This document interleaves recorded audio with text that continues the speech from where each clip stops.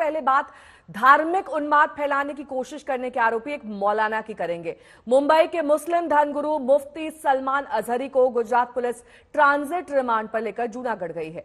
मुफ्ती अजहरी पर आरोप यह है कि इकतीस जनवरी को गुजरात के जूनागढ़ की एक सभा में उन्होंने धार्मिक उन्माद फैलाने की कोशिश की, आपत्तिजनक नारेबाजी की और सद्भाव बिगाड़ने की भी कोशिश की। मुफ्ती अजहरी को अब गुजरात पुलिस गिरफ़्तार करने पहुँची तो मुंबई की सड़क पर खूब तमाशा हुआ मुंबई पुलिस मुंबई की आम जनता के लिए है।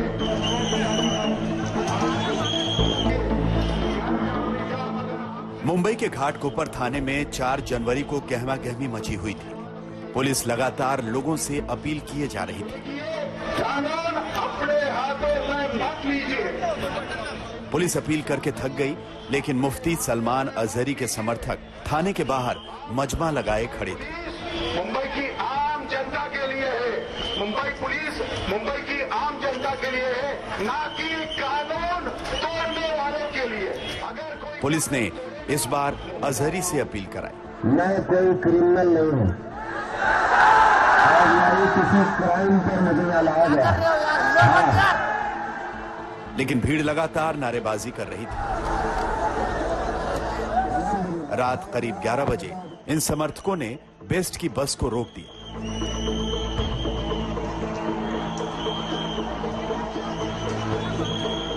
आरोप है कि कुछ समर्थकों ने बस में तोड़फोड़ की कोशिश की, जिसके बाद मुंबई पुलिस ने उग्र होती भीड़ को खदेड़ने के लिए मुफ्ती के समर्थकों पर लाठीचार्ज किया। अब से कुछ देर पहले यहाँ पर हज़ारों लोग यहाँ पर मौजूद थे, लेकिन मुंबई पुलिस जो है, इस पूरे रोड को खाली करा चुकी है। जो इलाके के डीसीपी और जितने भी वरिष्ठ अधिकारी है, वो यहाँ पर मौजूद है और जो लोग यहाँ पर थे, उन सभी को लगातार ये बताने की कोशिश की जा रही है कि कोई भी कानून को हाथ में ना दे और जो लोग भी यहाँ पर आए हैं अपने अपने घर चले जाए। पुलिस की हल्की कार्रवाई के बाद मुफ्ती अजहरी को अदालत में पेश किया गया। जहाँ से गुजरात एटीएस की टीम उसे जूनागढ़ के लिए लेकर गई। उन्होंने एप्लीकेशन किया था कि इनका ट्रांसिट रिमांड दिया जाए, जिसको हमने अपोज किया और हमने ये भी कहा कि इलीगली डिटेन हुए थे। इनको हमारे को जो नोटिस देना चाहिए बाय लॉ उन्होंने वो नोटिस नहीं दिया था फोर्टी वन एक अस्सी आरपीसी के तहत। और सुप्रीम कोर्ट के जजमेंट भी है उसके ऊपर अनिश कुमार करके। वो स्ट्रिक्टली बोलता है। उसमें ऐसा लिखा गया है कि किसी भी आदमी का अगर सात साल के तक का ऑफेंस है तो उनको पहले नोटिस दिया जाए। अगर वो नोटिस का पालन नहीं करते हैं तो उसके बाद आप अरेस्ट कर सकते हैं। तो उनको ऐसा कोई नोटिस नहीं दिया गया हालाँकि गुजरात में मुफ्ती सलमान अजहरी को पकड़ने पहुँची गुजरात एटीएस के मुताबिक सलमान अजहरी समेत कुल तीन आरोपियों पर गुजरात के जूनागढ़ में हुई सभा में भड़काऊ बयानबाजी करने और धार्मिक उन्माद फैलाने वाली नारेबाजी कराने के आरोप में आईपीसी की धारा एक सौ तिरपन बी पाँच सौ पाँच दो और एक सौ अट्ठासी के तहत मामला दर्ज किया गया है।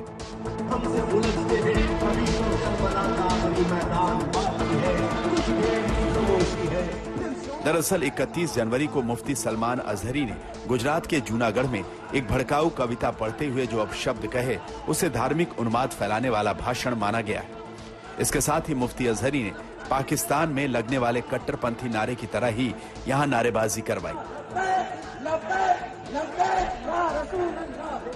इसी मामले में गुजरात पुलिस ने स्वतः संज्ञान लेते हुए मुकदमा दर्ज किया था और दो दिन के ट्रांजिट रिमांड पर लेकर उसे गुजरात पहुँच चुकी है। जूनागढ़ में भार्गव जोशी और मुंबई से अजाज खान के साथ आज तक ब्यूरो।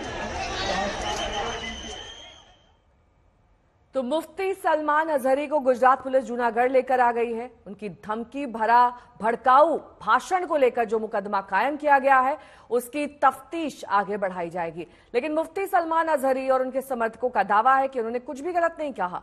गुजरात के जूनागढ़ में सिर्फ़ एक कविता पढ़ी गई थी। उस कविता पाठ के बाद वहाँ मौजूद लोगों ने धार्मिक नारे लगाए थे, जिसमें किसी के खिलाफ कोई बात नहीं की गई थी। लेकिन दूसरी ओर मुंबई में जब गुजरात पुलिस मुफ्ती अजहरी को पकड़ने पहुँची तो आरोप यह लगा कि मुफ्ती के सैकड़ों समर्थकों ने सड़क बंद करके तोड़फोड़ करने की कोशिश की। इस पूरे प्रकरण में एआईएमआईएम के नेता वारिस पठान भी मौके पर मौजूद थे। उनका भी यही कहना है कि ना तो मुफ्ती ने कुछ गलत कहा और ना ही पुलिस की कार्रवाई उचित है। न्याय होगा, इंसाफ मिलेगा, उन्होंने कोई भड़काऊ भाषण दिया नहीं है। और देखिए, इससे भारी भारी भाषण दे चुके हैं लोग यहाँ पर। चुन चुन के मारेंगे। पंद्रह मिनट नहीं, दस मिनट नहीं, पाँच मिनट के लिए हमको छोड़ दो, हम सबको खत्म कर देंगे। उनके खिलाफ तो ना एफआईआर होता है, ना कोई केस होता है। मगर यहाँ वो शख्स खुद बोल रहा है कि मैंने क्लैरिफिकेशन भी दिया है कि मैंने किसी की आस्था को ठेस नहीं पहुंचाई है।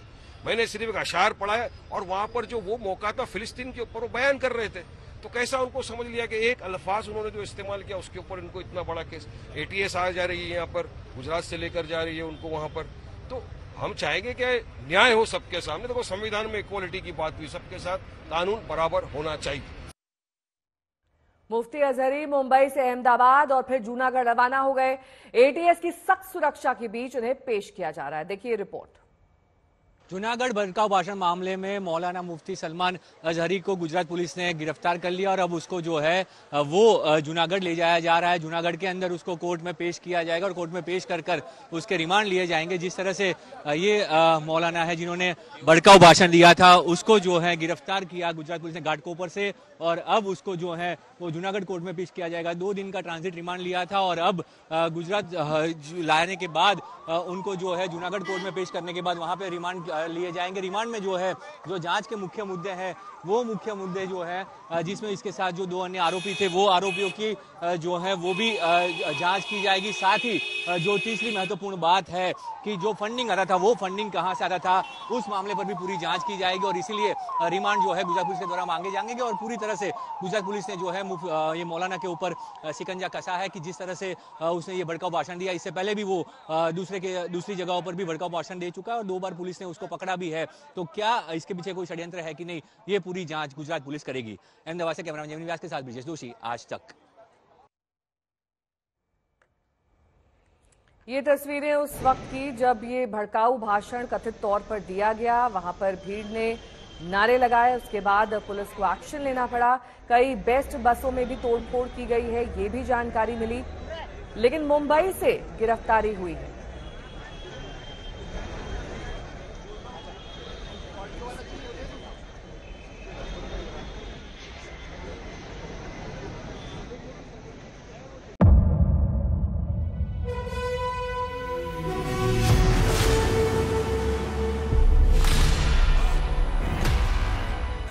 मुद्दों का मैदान ज़िम्मेदारी तर्कों पर घमासान क्या बताना चाहते हैं इस देश को? किससे किसकी ठनी किसने दी किसे पटखनी? क्या सच है जिसको छिपाने की कोशिश खबरों की दुनिया का सबसे बड़ा अखाड़ा दंगल।